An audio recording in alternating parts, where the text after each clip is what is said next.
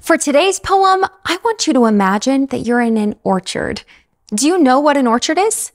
In an orchard, we'd be surrounded by trees, lined up in neat rows.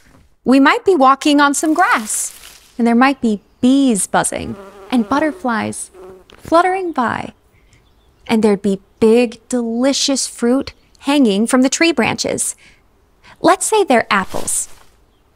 They're ready for us to pick them. Well, most of them. That one's way too high. This is the perfect time to recite the poem Little Red Apple. Do it along with me. We'll do it slowly the first time. A little red apple hung high in a tree.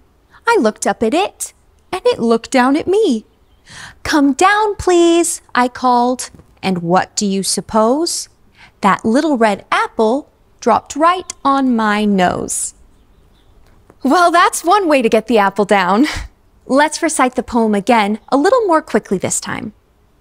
A little red apple hung high in a tree. I looked up at it, and it looked down at me. Come down, please, I called. And what do you suppose? That little red apple dropped right on my nose. Do you think we can do it even faster than that?